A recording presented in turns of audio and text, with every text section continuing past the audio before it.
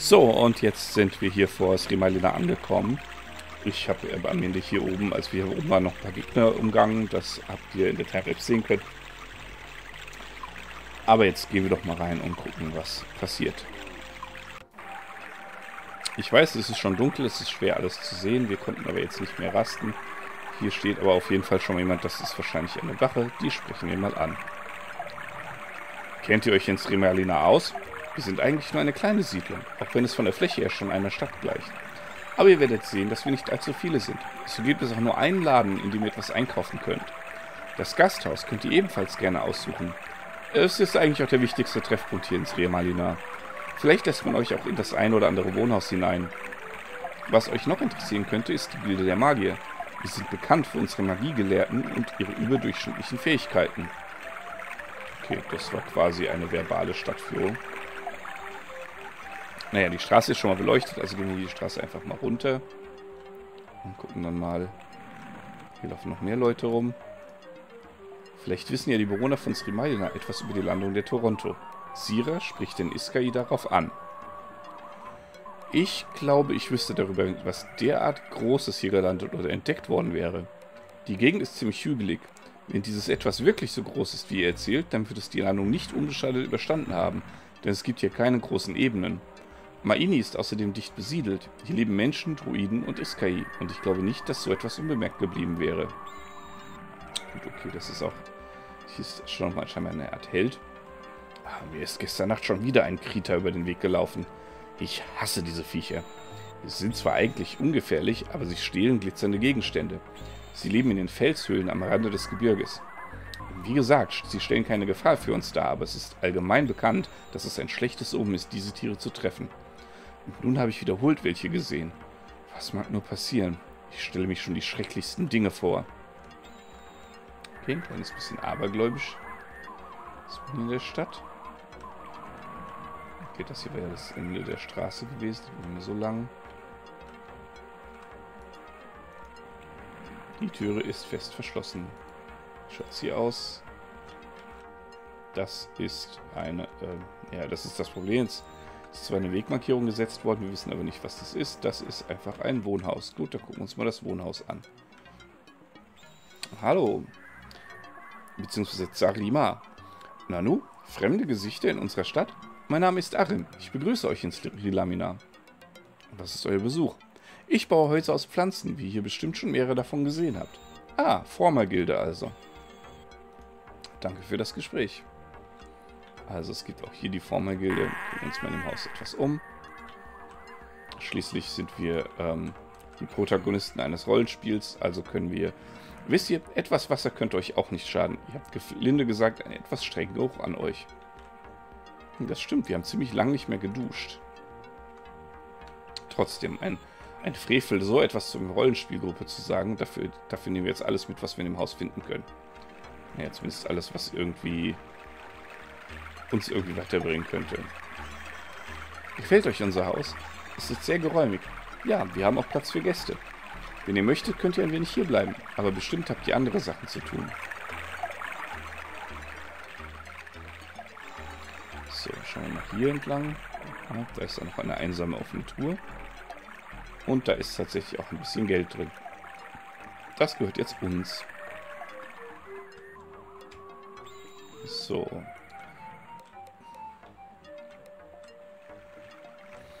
Dann nochmal zurück. So.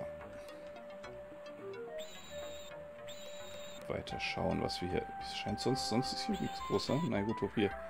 Hier rechts eine große ja, das ist eine recht große Sitzbank. Hier ist ein Kind. Sky Martin, ich heiße Erit und ich bin schnellste Läuferin in ganz Rimailina. Wer das nicht glaubt, kann gerne mit mir um die Wette laufen. Ah, hier geht es einfach nicht rum. Und hier ist noch jemand. Huch, ihr habt mich vielleicht erschreckt. Tja, schleichen hier durch die Gegend, ne? So, schon weiter. Da ist nichts. Das habe ich mir schon gedacht. Ich nehme auch tatsächlich an, die meisten dieser äh, Sachen sind wahrscheinlich eher verschlossen. Ich muss gestehen, es ist jetzt ein, etwas, etwas schwerer für mich zu spielen. Ich muss vielleicht doch mal ein bisschen umbauen. Und zwar bin ich jetzt nicht mehr an dem Rechner, an dem ich sonst immer sitze. Der Grund ist ganz einfach. Ich sitze normalerweise... Ah, das ist schon viel angenehmer. Ich sitze normalerweise im Keller. Weil da ist mich um mein Büro. Nur aus irgendeinem Grund wird da die Heizung jetzt nicht mehr richtig warm. Und ich glaube, ich habe da auch... Ich habe hier die letzten Male auch schon ein bisschen kommentiert, dass es irgendwie ein bisschen frisch wurde. Ähm, obwohl sie eigentlich äh, warm eingestellt ist noch. Und ich habe, äh, bin jetzt einfach ins Wohnzimmer umgezogen, weil gerade mein Mitbewohner nicht da ist. Und habe einfach das Mikrofon mitgenommen, dass die Tonqualität nicht leidet. Aber ich sitze natürlich jetzt ganz anders da, habe meine Tastatur woanders liegen. Ich habe tatsächlich unten und oben die gleiche Tastatur. Na, wo, wo, wo ging es jetzt hier wieder? Ah, da zwischen den Stühlen kann man durch. Ging es jetzt hier wieder raus. Und ähm, dadurch ist das alles ein bisschen anders als sonst. So. Dafür habe ich jetzt hier... Okay, hier können wir auch nochmal rein. Das war nach, tatsächlich nach Westen und dann nach Norden. Aha, hier durch dieses... Durch dieses Loch durch. Und dann war hier irgendwo da. Okay. Verwirrtheit. Ach, das ist... Ah. Haha. Das ist wahrscheinlich die... Bin ich jetzt lang gelaufen? Westen? Ich bin Westen und Süden gelaufen, nicht Westen und Norden. Ah. Okay. Ich bin hier, ich bin hier im Kreis gelaufen. Hier. Anstatt hier durch diese Tür. Okay, das ist jetzt auch nur so ein Ding. Gut.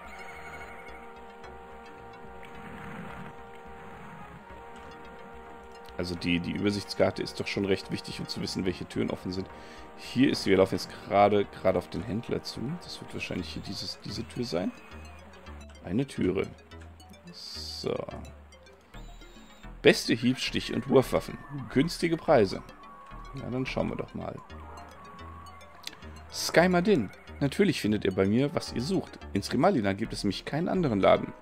Ihr müsstet dann nach Beloveno reisen. Nahrungsmittel könnt ihr aber auch beim Wirt in der Kneipe kaufen. Dann möchte ich, ich habe tatsächlich einen Zettel vergessen, dann möchte ich deinen Preisfaktor wissen. Du nimmst 1,2 Gold. Ich glaube, das ist derselbe Preisfaktor wie für alle anderen. Dann gehe ich jetzt erstmal her. Und jetzt müssen wir gucken dass wir hier irgendwas recht günstiges aufkaufen. Okay, jetzt hätten wir hier natürlich die tolle Rüstung für Dreh hier kaufen können. Das ist nicht gut. 22, 68, das ist alles recht teuer, was sie hat. Sie hat nichts. Die Schuhe, ich meine, das sind 8 Schuhe für 14 Gold, ist auch recht teuer. Ich will einen Slot leer machen. Von ihr. Nun, dann verkaufen wir einfach den Rundschild für 51. Oder die... Ja, verkaufen wir einfach den Rundschild. So. Sehr schön.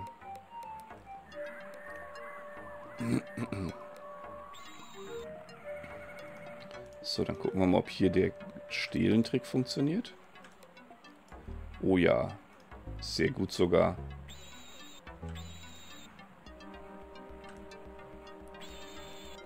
Das hat nicht ganz funktioniert.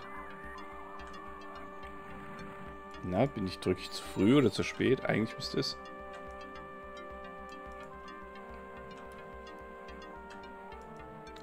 Da hat er jetzt die rechte Maustaste nicht angenommen. Gucken wir nochmal. Nein, irgendwie geht das jetzt hier nicht. Oder ich bin zu doof. Interessant. Manchmal nimmt er die rechte Maustaste gar nicht an. Das hat doch eben noch, eben noch funktioniert hier drüben.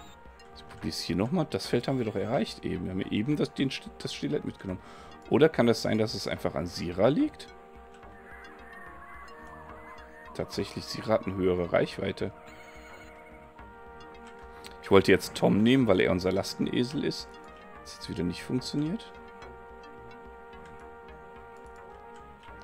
So, ich bin wahrscheinlich ein Stückchen zu spät irgendwie, also ich weiß, es ist eine Timing-Sache. Das war jetzt auf jeden Fall viel zu spät.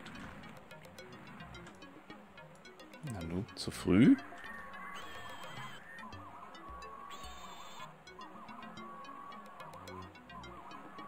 Ich glaube, wir sind noch... Ja, wir stehen schon an dem Tresen. Ich glaube, ich drücke entweder zu früh oder zu spät, sodass wir für das Spiel noch auf dem, auf dem Feld hier sind. Wir können, wir, wir sehen, wir haben eine hohe Reichweite, aber wieso hatten wir hier die hohe Reichweite eben zweimal? Oder ist es wirklich, weil wir von... Ist das der Anlauf, den wir genommen haben? Jetzt steht uns der Typ im Weg. So, probieren wir es nochmal. Steht uns der Typ beim Stehlen im Weg? Das gibt's ja nicht. Komisch. Naja, zumindest können wir jetzt, ähm, jetzt hergehen. Das hier ist ein ganz normales großes Stilett. Das ist natürlich, äh, kann auch vom Krieger verwendet werden. Und ist auch im, im Handel schon erhältlich. Das heißt, ich kann hier, so das ist ein Iskai Säbel, mit einem Schaden von 10. Da sind wir natürlich viel stärker mit der Lanze. Können wir also auch getrost das Geld einheimsen für. Sehr schön. So. Sie kann das nicht mehr tragen. Genau, das hatten wir im letzten Laden ja auch schon. Ja, ich bin tatsächlich so dreist. Also muss ich ganz ehrlich sagen. Ähm, es sind sogar zwei Slots für die Stilets. Wie verschwenderisch. So, ich will jetzt nicht hier die ganze... Okay, das war der letzte Versuch, nicht die ganze Folge hier mit klauen. Das mache ich vielleicht auch noch mal in der Timelapse. Sprayen wir mal die anderen an. Ich grüße meine Brüder und Schwestern unter euch. Ich komme gerade von einer Reise aus dem Osten. Dort habe ich eine kleine Gruppe von Kenget Camulus getroffen. Sie haben sofort ihre Magie gegen mich eingesetzt. Ich werde mich jetzt nur noch gut bewaffnet reisen. Normalerweise ist das hier eine sichere Gegend und deshalb ist so ein Ereignis höchst ungewöhnlich. Kengek Kamulos sind eben mit Vorsicht zu genießen. Sie mögen es auch nicht, wenn man in ihre Gebiete reist. Ja, das weiß äh, Kunak bestimmt sehr genau. Das steht hier auf dem Schild. Nichts. Ja, letzter Versuch. Ich kann es nicht lassen, ich weiß. Ich und meine Kleptomanie. Gut, okay, wir kennen jetzt den Laden. So, jetzt haben wir auch die Wegmarkierung, sodass wir schnell, schnell reisen können. So, die Kneipe ist direkt das Haus hier oben drüber. Sehr schön. Oder das Haus 1 nördlich von hier. Gehen wir nochmal in die Kneipe und gucken mal, mit wem wir hier reden können. So, ich hätte tatsächlich, ärgere ich mich ein bisschen, dass ich die Kriegerin nicht mitgenommen habe. Aber das wusste ich in dem Moment nicht mehr, dass man da in der Stadt mehr als eine Person äh, anheuern kann. Wenn ihr jemanden sucht, mit dem ihr reden könnt, dann wendet euch an Edir. Oh, Edir. Er ist hier der Wirt und bekommt so ziemlich alles mit, was sich in Srimalina und der näheren Umgebung abspielt. Es ist doch Edir, ist doch ein J. Edir kennt auch viele Leute in Beloveno und Kaunos. Und jeder in Srimalina kennt Edir. Und außerdem ist er sowieso ziemlich gesprächig. Er freut sich bestimmt, wenn ihr ihn ansprecht. Ja, aber hier sitzt jemand so einsam rum. Den will ich auch ansprechen. Wart ihr schon bei Jekrai? Sie ist die Vorsitzende der Magiergilde. Ein Besuch dort lohnt sich bestimmt. Ja, Bestimmt, äh, Sira kann bestimmt was lernen. Die Wand. Die Wand. Oh, mächtiger, die Wand dreht sich. Ich glaube, ich habe zu viel getrunken. Tja. So ist das halt mit dem Alkohol. Und da ist das unser Freund Skymadin. Habt ihr zufällig irgendetwas dabei, was ihr verkaufen möchtet? Ich bin fliegender Händler und derzeit wieder auf der Suche nach interessanten Gegenständen. Ich zahle gute Preise, denn mein Sortiment ist momentan sehr klein. Wenn ihr etwas Interessantes habt, nur zu. Schauen wir mal. 0,7. Er zahlt sehr gute Preise, glaube ich eher nicht. Aber bei 0,7 können wir hier gute Preise erzielen beim Kaufen. So, die werde ich tatsächlich sogar behalten, aber die 20 Fackeln, die verkaufe ich gerade wieder. Ah, okay, das ist... So, dann ist hier noch jemand. Skymadin. Jira, freut mich, euch kennenzulernen. Habt ihr irgendwelche Neuigkeiten aus Belovino mitgebracht? Ihr kommt doch aus Belovino, oder? Ich bin politisch nämlich sehr interessiert und möchte immer gerne informiert sein, wenn etwas Wichtiges vorgeht. Und das ändert sich viel mehr, als man denkt. Ist euch nicht auch schon aufgefallen, wie oft schon die Leute die Meinungen ändern? Probiert es einmal aus. Redet mit irgendwelchen Leuten über etwas und sprecht es zu einem viel späteren Zeitpunkt nochmal darauf an. Meistens hört sich dann schon alles ganz anders an. Davon einmal abgesehen, wenn ihr neu hier seid, gebe ich euch vielleicht erstmal ein paar Tipps, wie ihr euch hier möglichst gut eingliedert und unsere Gesellschaft und Kultur respektiert. Wichtig wäre zum Beispiel, dass ihr das berühmte Heiligtum von Skrimalina nicht betretet. Es gibt ein Tabu, das es Fremden verbietet, diese Stätte aufzusuchen. Wir betrachten es als grobe Verletzung unserer Religion, wenn jemand gegen das Tabu verstößt. Dieser Ort ist für uns eine Gedenk- und Gebetsstätte, die schon seit vielen Generationen besteht. Das Betreten durch Fremde hat für uns fast dieselbe Bedeutung wie eine Entweihung. Also respektiert das Tabu bitte und haltet euch von diesem Ort fern. Okay, probieren wir es direkt mal an und aus und nein, zweimal hintereinander angesprochen, sagt er nicht dasselbe. Wenn ihr euch in der Gegend hier nicht auskennt, will ich euch gerne weiterhelfen. Reist nach Norden, um über Kaunos und das Gebirge nach Beloveno zu gelangen. Reist nach Osten, wenn ihr mit dem King Kamulos Bekanntschaft machen möchtet. Und haltet euch von unserem Heiligtum fern, denn es gibt ein Tabu, das es Fremden verbietet, dorthin zu gehen. Wir akzeptieren keine Ausnahmen und achten streng darauf, dass das Tabu eingehalten wird. Okay, gut zu wissen. Es gibt also scheinbar ein Tabu. Dass wir irgendetwas, wahrscheinlich ein Heiligtum nehme ich an, nicht betreten dürfen. Ich nehme an, das hat religiöse Gründe. Willkommen im großen Fass. Ihr seid fremd hier in der Stadt. Ah vielleicht werdet ihr trotzdem ein paar nette Gesprächspartner finden. Kommt ihr aus Beloveno? Also, eigentlich würde ich die Frage gerne beantworten. Ähm, was wisst ihr über Beloveno? Ich habe mir fast gedacht, dass ihr von dort kommt. Dann wart ihr sicher schon in Kaunos. Das ist ein kleines Dörfchen auf den Plateaus des Gebirge. Äh, ja, waren wir. Äh, ja. Können wir Rationen kaufen? Eine Ration kostet 1 Gold. Nein, bei dem anderen kostet eine Ration 0,1 Gold. Jetzt muss ich hier mal tippen. Jetzt liegt die Tastatur nicht so weit links, dass ich hier wieder vom Mikro weg muss. Einen Augenblick, ich bin nämlich 10 Finger tippe. So, und da hat er auch tatsächlich was zu sagen. Ihr müsstet auf eurer Reise hier eigentlich an Kaunas vorbeigekommen sein. Das ist ein kleines Dörfchen, in dem noch recht traditionell orientierte Menschen leben. Es liegt auf dem Plateau des großen Gebirges. Gut, Dankeschön. Ich habe gehofft, dass er vielleicht irgendwas Politisches zu sagen hat. Wir haben ja schließlich äh, schon die, naja, nicht Aufgabe, aber ähm, wir haben schon mitbekommen, dass es da irgendwelche politischen Geschichten gibt. Das ist wahrscheinlich der Ausgang, ne? da kommen wir her. Dann ist hier noch eine offene Tür, also einmal nach links und dann nochmal nach links. Und dann müsste die hier sein. So, jetzt schauen wir mal. Ein Grafikfehler rechts. Wendet euch an Jekrai, wenn ihr eure magischen Talente erlernen möchtet. Sie ist die Leiterin unserer Gilde und außerdem die beste Gelehrte weit und breit. Jekrai ist immer für euch da. Wenn ihr sie nicht antrefft, kommt später nochmal. Nope. Und schon ist auf magische Weise hier in der Magiergilde die äh, Glitch verschwunden. Schaut mal, ich habe einen Zauberspruch gelernt, der meinen Brustschmuck blau färbt. Ihr glaubt mir nicht? Na schön, er war vorher schon blau, aber nicht so kräftig. Das ist doch hübsch. Das Jekrai ist bestimmt die Dame hinter der Theke die natürlich so schön weit weg von der Theke bleibt. Haha, Skymadin. Wenn ihr möchtet, unterrichte ich euch in Iskai-Magie. Aber gerne doch. Oh, wir kennen schon alles. Und hier hätte es mit Sicherheit Geld gekostet, während wir bei dem anderen die Sprüche kostenlos gelernt haben. Willkommen in der Magiergilde. Hoffentlich tut ihr magische Fähigkeiten nicht als Aberglaube und Spinnerei ab, denn sonst seid ihr völlig falsch. Wenn ihr aber an übernatürliche Fähigkeiten glaubt und Leute sucht, mit denen ihr darüber reden könnt, oder wenn ihr euch weiterbilden möchtet, seid ihr hier genau richtig. Auch wenn ihr anderweitig Probleme mit Magie habt oder nur Erfahrungen austauschen wollt, dann setzt euch einfach und wir können in entspannter Atmosphäre plaudern. Ich will mal gucken, ob ich hier, hier durch kann. Nein, es ist tatsächlich abgesperrt. Kommt hier nicht rein. Ah, da bin ich mal neugierig. Ha! Ich kann tatsächlich diesen Trank mitnehmen dass ich hatte jetzt tatsächlich erwartet, dass ich nicht über die Wand hinaus den Mauscursor bewegen kann.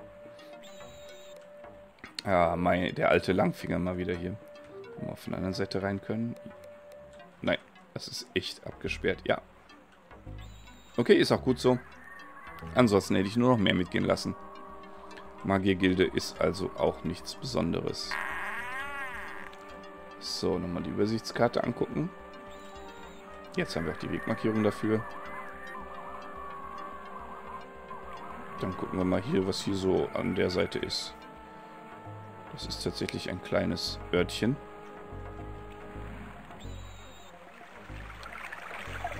So, okay, hier ist niemand bisher, der irgendetwas sagen kann. Naja, es, da wäre noch die Kengat Camulos, die nicht mit uns, äh, was heißt nicht mit uns reden möchten, die äh, scheinbar keine Besucher mögen. So, das ist das kleine Städtchen und hier ist der Ausgang. Haben wir im Endeffekt schon alles einmal gesehen. So, da es jetzt dunkel wird, würde ich sagen, gehen wir einmal aus der Stadt raus. Wir haben da tatsächlich keine Wegmarkierung bisher. Was ich aber machen kann, ist, ich kann einfach hier hingehen und dann so hier drumherum und dann hier wieder raus. So, und dann rasten wir eben mal. Warten wir noch ein bisschen. Und dann können wir noch mal gucken. Und zwar... Na komm schon. Ja, ich gehe hier rein. Geht die Zeit hier nicht schnell? Nein, das war in den Häusern, wo die Zeit schneller vergeht. Ah, aber hier kann ich warten. Ich warte eine Stunde. Ich möchte ja bis zum Morgengrauen rasten und nicht einfach nur acht Stunden. So. Gut, dann überlegen wir mal eben. Also, wir haben schon gehört, dass es irgendwie im Rad von Beloveno Probleme gibt wir haben irgendwie, hatten wir nicht... Das Problem ist, ich weiß hier schon ein bisschen, was passieren wird. Ich weiß nicht 100% was wir, was wir machen müssen, um die Sachen zu triggern. Ich weiß, ich bin damals, also hier war echt eine Stelle, wo ich viel gerannt bin, um rauszufinden, wo ich hin muss. Und hier sind jetzt auch schon die Gegner, die ich umgangen hatte. Naja, dann nehmen wir die erstmal mit. Jetzt habe ich natürlich vergessen zu speichern, war ja klar aber das sollte kein großes Problem sein. Es sind nämlich äh, nur zwei starke von dir und ein schwacher. Dann fangen wir die starken erstmal ein. So. Und gehen her und lassen ihn nochmal den Feuerregen trainieren auf denen hier. So, und damit sind die Starken außer Gefecht gesetzt.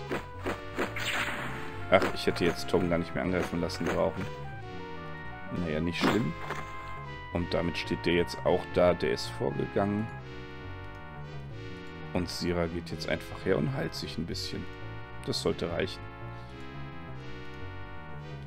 So. Ich möchte die tatsächlich nicht verscheuchen, weil die Loot geben. Dude. 21 Schaden. So. Aber den greife ich an, weil der nicht in unserer Reihe ist. So, jetzt hat er hier den Blitzschlag schon voll drauf mit 21 Schaden. Wechseln wir zum Blitzstrahl. Auch wenn der jetzt Lebenspunkte kostet. Genau, Meltas zaubert magischen Schild nochmal, um den zu trainieren. So, schwächste Stufe 7 oder schwache Stufe 7 Schaden. So. Und dann hauen wir jetzt einfach drauf. Unsere Magier sind jetzt trainiert. So. Das hätten wir schon mal.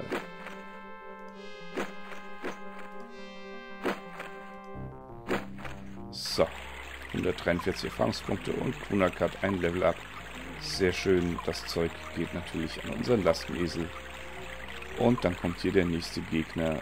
Vorher werde ich nochmal eben ganz schnell unseren Magier hier den Heiltrank trinken lassen. So. Und das ist natürlich auch wieder... Naja, es wäre eine Gelegenheit für ihn, den ähm, Zauber zu, weiter zu leveln. Warte, da die jetzt hier... Das werde ich jetzt machen. Er kann einmal Panik zaubern, ohne zu sterben, ansonsten würde hier eine Null stehen. Er zaubert jetzt tatsächlich Panik und versucht, alle Gegner in Panik zu versetzen, weil hier, wir verlieren in Anführungsstrichen nur Erfahrungspunkte. Wobei auch Erfahrungspunkte wichtig sind.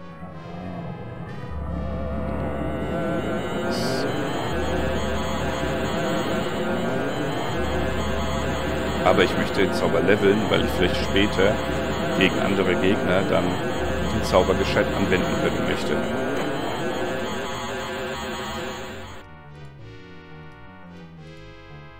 So, halt, das war Meltas. Der sollte jetzt vielleicht auch wieder geheilt werden, weil er jetzt mit einem Schlag weg vom Fenster ist. Ich hätte ihm vielleicht einen Trank geben sollen.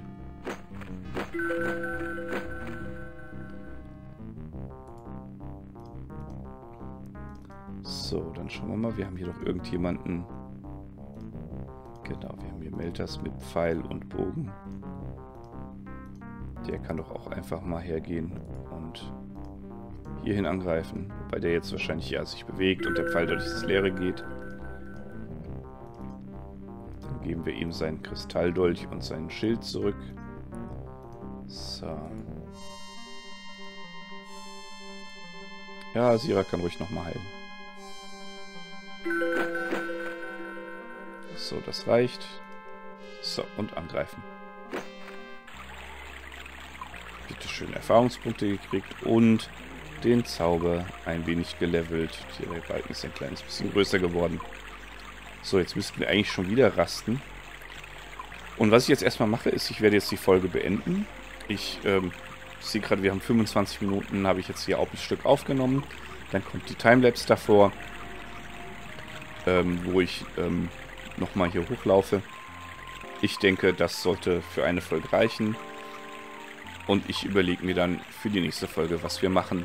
Also bis dahin. Ciao, miau.